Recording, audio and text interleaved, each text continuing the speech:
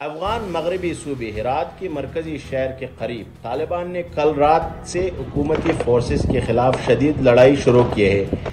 इस जंग में सूबा हिरात से ताल्लुक रखने वाले मशहूर जहादी कमांडर इसमाइल खान खुद तालिबान के खिलाफ लड़ाई का क्यादत कर रहा है।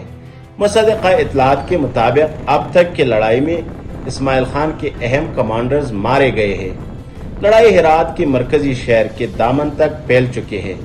सूबाई दारकूमत में वाक़ अकवा मुतहदा की इदारा यूनामा का दफ्तर भी इस जारी लड़ाई में एक राकेट हमले का निशाना बना है इस राकेट हमले में यूनामा के दो माफिजीन के मारे जाने की इतलात है तालिबान ने अब तक गुजरा और करोख अजला पर कब्जा कर लिया है याद रहे कि करोख जिला पर इससे कबल भी तालिबान ने कब्जा किया था जिससे हुकूमती फोर्सेस ने एक हफ़्ता कबल दोबारा उनसे छुड़वाया था। गुजरा हेरात का एक अहम जिला है, जिसमें एक बड़ा इंडस्ट्रियल टाउनशिप भी वाक़ है। इसके अलावा जिला गुजरा से गुजरने वाले हेरात के सबसे अहम शारा पर भी तालिबान ने कब्जा किया है, जिससे हेरात के वाहिद हवाई मैदान को सड़क फैला हुआ है। इस अहम शारा का तालिबान के जेर कब्जा आने की वजह से रात को काबुल और दिगर बैरूनी हवाई परवाजी भी मनकता हो चुके हैं।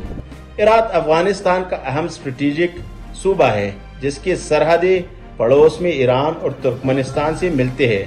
कुछ हफ़्ता कबल तालिबान ने सूबा हेरात में वाक़ ईरान को जाने वाले अहम गुजरगा और तिजारती मरकज इस्लाम कले पर भी कब्जा किया था, जिसमें तालिबान को काफ़ी मकदार में नक अमवाल और दिगर वसाइल हाथ लगे थे। इसके अलावा कंदार और हेलमंद सूबों में भी जंग ने शिदत इख्तियार किया है।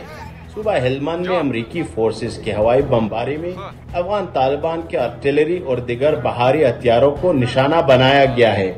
इस तरह सुबह कंदार की जिला स्पिन बोलदक में भी अमरीकी फोर्सेज ने हवाई बमबारी में तालिबान के जेर इस्तेमाल एक रूसी टैंक को तबाह किया है।